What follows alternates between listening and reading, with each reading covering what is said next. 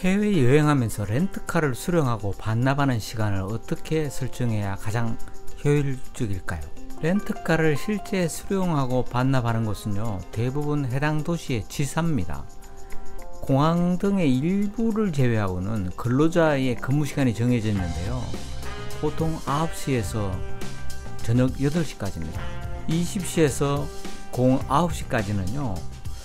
이런 이제 렌트카에 해당 지사들의 근무하는 근로자들이 근무를 하지 않기 때문에 반납할 수도 수령할 수도 없는 경우가 많아요. 그래서 시간 선택을 잘 해야 됩니다. 가장 빠르게 수령할 수 있는 시간이 이제 9시고요. 이 시간을 기준으로 다음날 9시까지가 1영업일입니다. 이 말은요, 오후 12시에 빌려서 다음날 아침 9시에 반납을 해도 1영업일로 친다는 것인데요. 뭐 이렇게 한다는 규정은 없어요. 하지만은 대부분의 회사의 영업 전략 같은 건데 거의 모든 렌트카가 시간이 동일합니다. 따라서 가장 효율적인 렌트 시간은요. 아침 9시에 빌려서 그 다음날 아침 9시에 반납하는 겁니다. 나는 베네치아 식스트 지점에 빌렸기 때문에 9시 이전에 렌트카를 반납해야만 합니다. 숙소가 있는 베로나에서 반납하는 베네치아 지점은요, 한 120km 정도 거리가 돼요. 구글 지도에서 1시간 30분 걸린다고 했지만, 여유있게 도착하려고 우리는 7시에 출발을 했고요. 다행히 밀리지를 않아서 시간 안에 도착하고 반납할 수 있었습니다. 원래 무슨 사건은 중요한 때 터지잖아요. 이때지 사건이 터졌어요. 크로아티아 리제카 가는 버스를 탑승하는 장소가 렌트카 반납하는 장소에서 1.3km 떨어져 있는 트론케토라고 하는 섬이에요. 근데 걸어서 여기를 가려 그러면 다리를 두 개 건너야 돼요. 이제 구글 지도를 딱 켜고 길을 찾아야 되는데 인터넷 연결 상태가 극도로 나빴습니다. 그런데다가 비까지 주룩주룩 내려서 상황을 점점 어렵게 만들었습니다. 나는 그 출국 전에 유럽 대부분 나라에서 사용할 수 있는 유심 칩 3심을 구입해서 핸드폰에 장착하고 사용하고 있었는데요.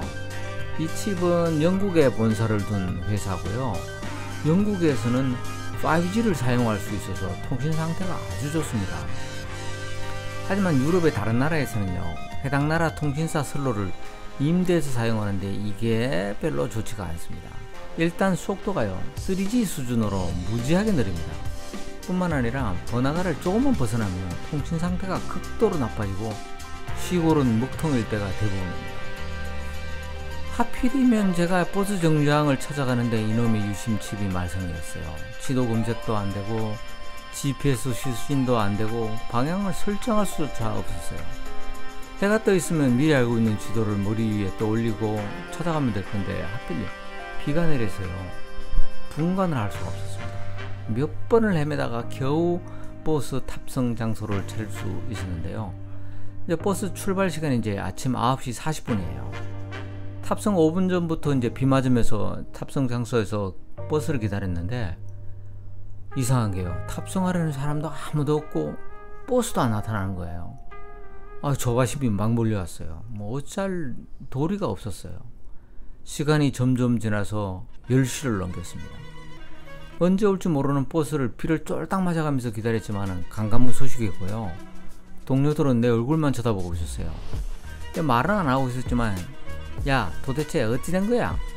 예약은 제대로 한 거야? 뭐 이렇게 묻는 것 같았어요. 30분이 지나서 오지 않는 버스를 이제 포기를 하고요. 다른 방법을 찾기로 이제 마음을 결정했습니다. 크로티아 리제카에서 버스 도착 시간에 맞춰서 렌트카를 이미 예매한 상태고요.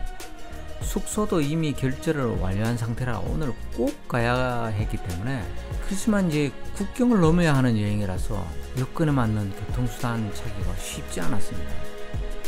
혹시 주변에 나 모르는 방법을 아는 사람이 있나 싶어서 주변을 막 찾으러 돌아다니다가 멀리서 눈에 익은 연두색 버스가 진입하고 있는 것을 봤어요. Flix의 모든 버스가 연두색으로 도색되어 있어요. 자세히 이제 가서 보니까 유리창에 리제카가 목적지로 표시되어 있는 버스였고요. 우리가 가야 할 바로 그곳으로 가는 그 버스였어요. 그 순간 걱정이 탁 사라지고 아주 머리가 아주 맑아졌습니다. 버스는 예정된 시간보다 40분 늦게 도착을 했고요. 뭐 운전수를 비롯해서 누구도 뭐 아무런 설명도 없었습니다. 베네치아에서 크로아티아 리제카까지는요 231km에 불과하지만 버스가 멈추는 곳도 많을 뿐더러 도로가 대부분 2차선이에요. 속도가 날 수 없는 상황이라서 5시간이나 걸렸어요. 베네치아와 크레아테아 구간을 버스로 결정한 것은요, 시간적, 경제적, 공간적으로 가장 적절한 수단이기 때문인데요. 베네치아에서 프리트비체까지는 직항이 없어서 항공기로 이동하면요, 자그레브까지 환승해야 돼요. 이게 한 5시간 걸리고요. 최소 30만원의 비용이 발생합니다. 또 공항에 있는 자그레브에서 승용차로 플리토비체까지 가는데 2시간 30분 걸려요. 그럼 총 7시간 반 걸립니다. 하지만 베네치아에서 플릭스버스를 타고 5시간 달려서 비체카에 도착하고 렌트카를 수령한 뒤에 3시간 달리면 블리트부치에 있는 숙소에 도착하게 되니까 뭐 소요시간 거의 비슷하잖아요. 그런데 버스는 2만원 밖에 안 들어요. 이러니 버스를 이용하는 게 합리적이지 않겠어요? 우여곡절 끝에 크로아티아 리제카에 도착했습니다. 뭐 리제카의 경치를 돌아볼 시간이 없었습니다. 해 떨어지기 전에 크로아티아 플리트비체 국립공원 부근에 예약한 숙소로 체크인 해야 됩니다. 리제카에 무사히 도착하고 Sixt 지점을 찾아서 렌트카를 수령했는데요. 음, 영수증에 있는 주소가 실제 위치하고 많이 달라서 찾는데 아주 아주 애로사항이 많았어요.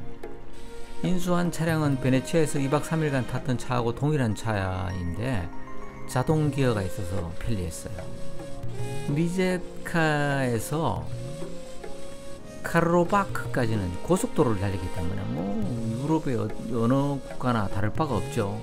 근데 카르로바크에서 풀리트비체로 가는 길로 접어드는 순간에요. 아 이거 아닌데라는 생각이 들었습니다. 왜냐면 일단 도로가 좁아요. 그리고 직선이 거의 없는 꼬부랑꼬부랑하는 길의 연속입니다. 이런 길을 7km를 달려야 프리터비치에 도착을 해요. 1시간 반 이상을 뭐 어찌나 좌우로 흔들어대면서 운전을 했던지 옆구리가 다 아플 지경이었습니다. 다행히 숙소 브루나 게스트하우스는 정말 좋았어요. 대대로 드레즈니크 그라드에 살고 있는 주인 이비카는요. 자기가 살고 있는 집으로부터 북쪽 1마일까지 눈에 보이는 모든 땅이 자기 할아버지가 물려준 땅이라고 자기가 땅 부자라고 엄청 자랑했습니다. 인심도 좋아서 그 이비카야의 어머니는요 텃밭에서 기르던 채소 한 방울을 뽑아줘서 우리 아주 잘 먹었습니다. 당시 나는 이제 감기에 걸려서 골골했는데요 방도 아주 따뜻했습니다. 플리트비치 국립공원을 여행할 혹시 구독자가 있으면요 게스트하우스 브루나를 적극 추천합니다. 국립공원하고 승용차로 15분 거리고요. 3분 거리에 동네 슈퍼도 있고 7분 거리에 대형 마켓도 있어서 아주 편리한 곳입니다. 이번 편은 여기까지입니다. 다음 편은 플리트비체 국립공원 다녀온 이야기를 하겠습니다. 구독과 좋아요, 알림 설정 부탁합니다.